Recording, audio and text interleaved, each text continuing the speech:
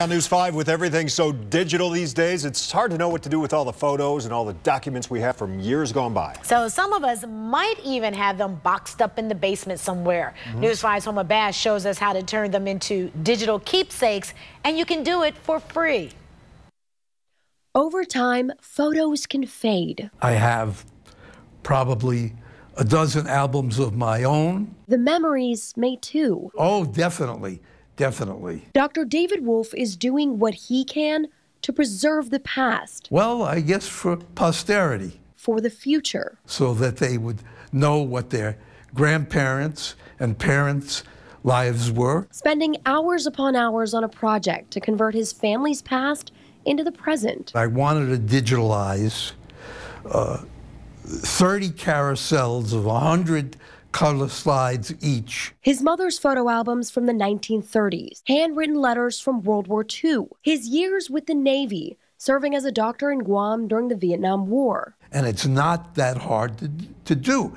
It is some time consuming, but being retired, I have all the time in the world. And the 79 year old is doing it all for free.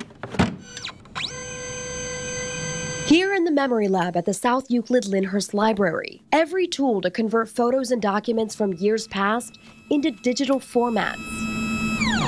This space is about how we've evolved as a library system to be more than maybe what you think of when you think of a library. For Dr. Wolf, the hours spent here was for his three children. When I'm gone, I don't think they're going to hold on to all these albums and everything, but if it's on a flash drive, they'll put it into a computer and be able to easily visualize everything. And it came with a long, winding trip down memory lane. Very much so. Preserving his past for his future. So, yes, it was very worthwhile. Reporting in Cuyahoga County, Homa Bash, News 5.